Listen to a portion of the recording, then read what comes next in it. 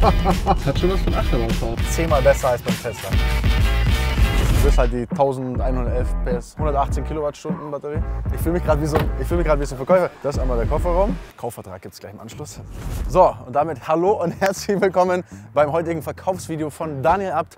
Das hier ist ein Lucid Air in der Dream Edition, Leute. Das ist äh, ein amerikanisches Auto, kommt aus Kalifornien, hat 1111 PS. Ihr habt gerade schon die erstaunten Gesichter gesehen. Das ist einmal der Kofferraum. So, eigentlich ein noch spannender. Das ist wieder Porsche-Kofferraum. Das ist nicht, das ist nicht wieder Porsche Kofferraum. ja, ja, gerne, ja. Also Sie eignen sich als Verkäufer. Ja, ich meine, ich kriege gerne noch meine Visitkarte, wir können gerne noch was. wir können gerne noch vielleicht, vielleicht kriegen wir ein paar Provisionen dann, das ist super. Ja. Es ist wirklich echt ein top, top Auto. Das kann man nicht anders sagen.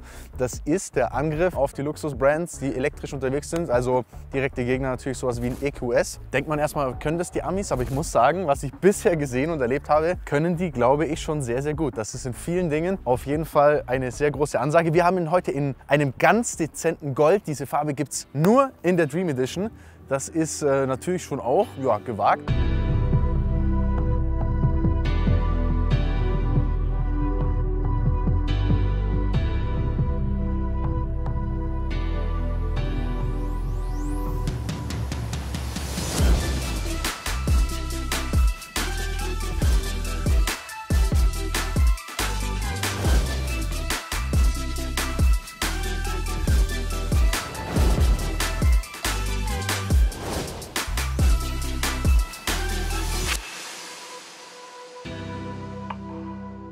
Also jetzt in der Sonne schaut es auf jeden Fall richtig gut aus hier in dem Setting. Ich finde, es passt wirklich top dazu. Ihr habt gerade schon gesehen, wir haben äh, jede Menge Stauraum auf jeden Fall, sowohl vorne als auch hinten. Das Auto hat zwei Motoren verbaut, einmal auf der Vorderachse, einmal auf der Hinterachse. Es gibt tatsächlich wahrscheinlich bald noch eine andere Version, das heißt dann Sapphire Edition. Das wird drei Motoren haben und dieses Auto kann folgendes.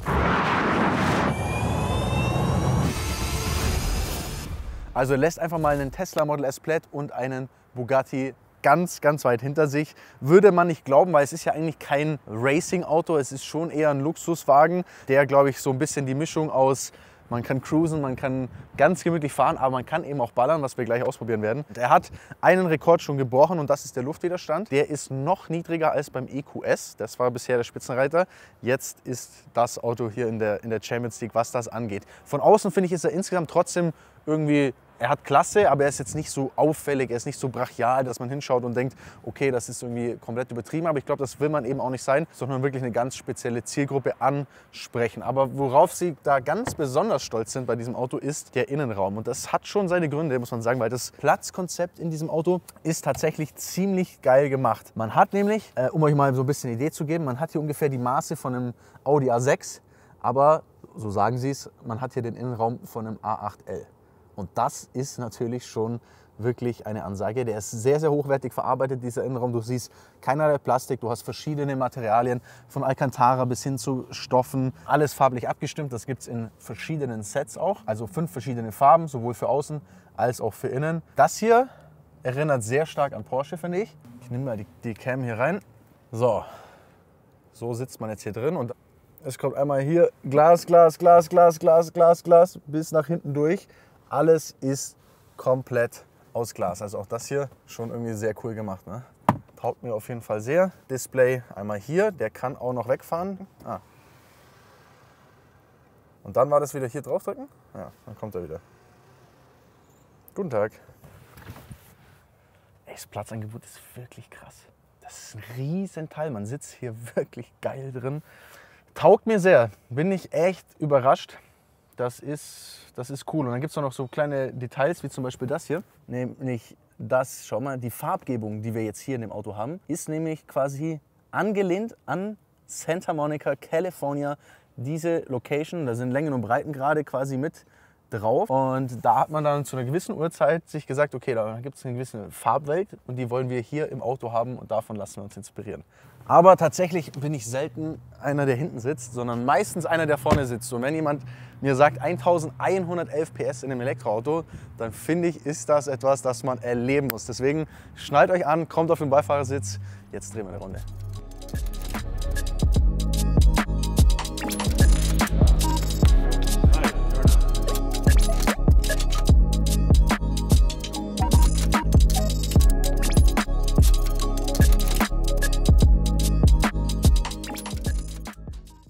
I think it's a new way to go. You see it, we see it with some other brands over there. Yeah, it's, it's just so much nicer to be in a space like this rather than being in a big, uh, yeah, shitty looking place where you just have tons of cars and stuff. And I think this gives a better feeling for, for a brand. And, ah, ja. das, siehst du jetzt, was ich sehe da vorne?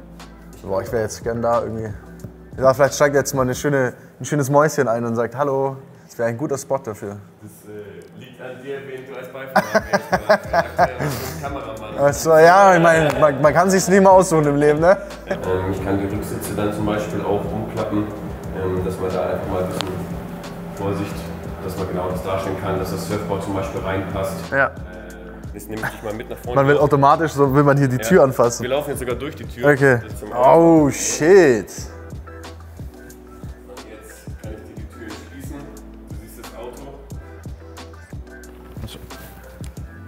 Bin ich ein bisschen enttäuscht, dass ich doch nicht in Kalifornien bin. We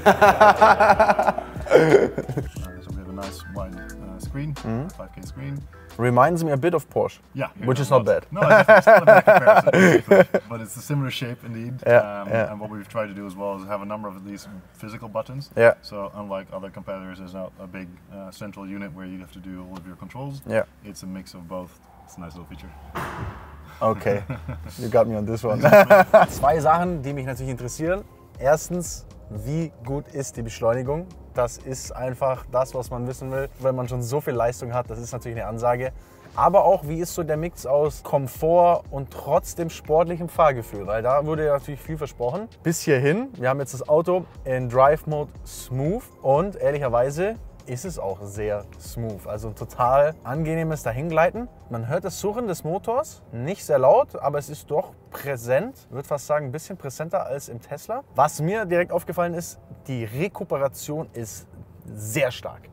Also wenn du vom Gas gehst, das fühlt sich wirklich an wie ein ordentliches Abbremsen, was natürlich gut ist, weil wenn man viel rekuperieren kann, ist das effizient, macht absolut Sinn. Man muss aber als Fahrer sich schon ein bisschen darauf einstellen, dass man nicht zu früh vom Gas geht, weil das Ding sonst abbremst und du eigentlich schon viel zu früh Traffic cleared, sagt er mir hier jetzt, ähm, weil du viel zu früh sonst zum Stehen kommst. Hast du gesehen, eine tote Winkelkamera? Wenn man jetzt blinkt, schau. Zack. Das ist schon geil, ne? Das sind so kleine Spielereien. Das sind die Kameras, die links und rechts in den Spiegeln sind. Generell, was auffällt, ist viel Platz so, ne? Man hat richtig das Gefühl, man kann sich hier komplett breit machen. Also auch wenn ich jetzt noch ein paar Kilo mehr auf den Rippen hätte, wäre das komplett entspannt hier. Also das ist wie wenn die Tür noch einem so ein bisschen mehr Space hier gibt. Finde ich total nice auf jeden Fall. Das Auto fährt sehr smooth, sehr komfortabel jetzt auf den ersten Blick. Lenkrad ist optisch, ich finde es okay. Ich finde es jetzt kein Oberhighlight, aber es ist auf jeden Fall schön beledert. Es ist gut in der Hand. Es tut, was es soll. Man hat noch Knöpfe. Auch das, glaube ich, ganz gut. Also hier so dieser Mix aus ein paar Knöpfen, wie laut und leise machen. Ne? Einfach so. Das ist eine ganz geile Playlist eigentlich, die da drin ist für diesen Tidal. Ich habe das noch nie benutzt, aber ich muss die Lieder mir noch alle noch einmal rausholen. Geile Soundanlage drin, also man kann schnell laut und leise machen. Finde ich besser, als wenn man das hier im Touch machen muss. Jetzt würde ich sagen, machen wir einfach mal die erste Stufe. Gehen mal in den Drive Mode Swift. So, ändert sich hier was in der Anzeige.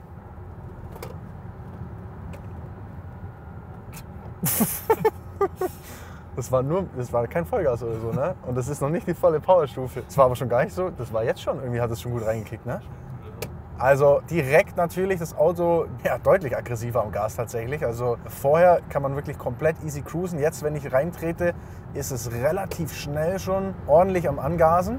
Auch die Lenkung ist direkter, also das merkt man auch. Insgesamt also alles ein bisschen straffer, wie man das eigentlich so kennt, aber es fühlt sich trotzdem noch sehr komfortabel an. So das Fahrgefühl, wie es vor sich hingleitet, ist für mich auf jeden Fall was sehr Positives. Ist bei einem Auto dieser Klasse natürlich genau das, was man auch haben will. Man möchte ja so das Gefühl haben, man cruist vor sich hin, es ist entspanntes Fahren, es ist angenehm und das tut es auf jeden Fall. Wenn jetzt gleich der Verkehr weg ist, dann probieren wir aber nochmal was anderes aus hier. Und kennst du gar nicht so dieses harte, richtig harte Punch. Richtig hart nicht, ne. That's what she said. Ah, das sind mir die liebsten Drehs tatsächlich. So, Sprint Activation, Maximum Power and Torque. Machen wir, ja, passt.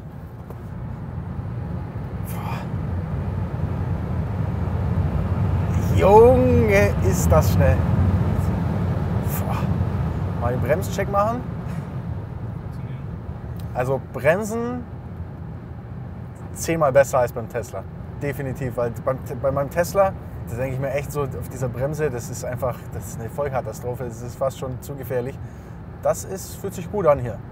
Aber da ist auch schon so viel, da ist schon so viel Rekuperationspower da. Du brauchst gar nicht mehr viel Bremse, aber die funktioniert auf jeden Fall. Und das Auto ist schön in einer Spur, stabil, konstanter äh, Brems, konstantes Bremsgefühl auch. Ist ja auch immer wichtig, dass so die Abstimmung zwischen Rekuperation und Übergang in Bremse, dass das einem, in einem smoothen Übergang quasi passiert. Sonst hat man ja so, so Ruckler quasi, wenn es einsetzt. Aber das fühlt sich, fühlt sich echt gut an. Ich finde es auch wirklich so geil, egal wo man hinschaut, es schaut. Es schaut gut aus. Ne? Also es gibt keine Ecke. Ich suche die ganze Zeit so nach so einer Ecke in dem Auto, wo ich, wo ich mir denke, so, das gefällt mir nicht. Aber hier habe ich die ganze Zeit das Bedürfnis, ich will am liebsten hier die ganze Zeit so hinlangen und irgendwie die, das Leder und hier ein bisschen das Alcantara und dann diese Oberfläche, ne, nochmal so, äh, so diese, dieser ganze Materialmix irgendwie macht es auch echt hochwertig. Bis vorne hin, alles, jedes Detail ist sauber. Ja, das, das gefällt mir echt gut. Kann man, also ich, finde wenig, ich würde würd gerne irgendwas so ein bisschen kritisieren gerade, aber ich tue mir schwer. Ich möchte so ein bisschen Massage, damit du dich besser fühlst jetzt bei der Fahrt. Was hättest du denn gern? So ein, ich muss mal schauen, Stretch, Deep. Deep ist gut, oder? So richtig, zack. Das machen wir auch mal an, ja. Oh ja. ich krieg gerade meinen Arsch massiert. Links und rechts. Aber gut tatsächlich. Wir machen mal kurz Pause.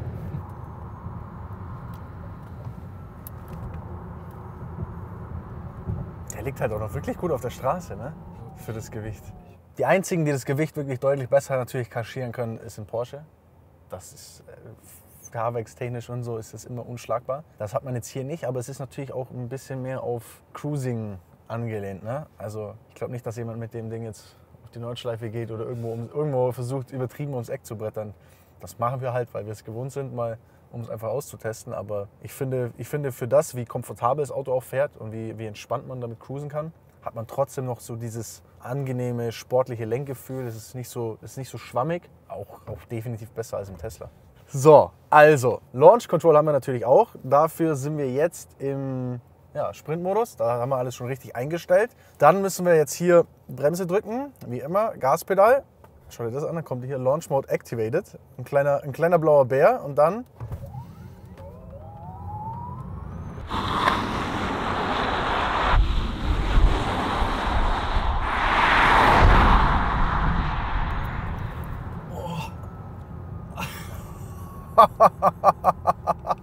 Es hat schon was von Achterbahnfahren auf jeden Fall. Das macht echt, echt, echt Laune. Das schiebt so geil nach vorne. Das ist schon herrlich. Und das einfach in so einem, in so einem Limousinen, Luxus-Limousinen-Bomber einfach herrlich. Ein absolutes Träumchen.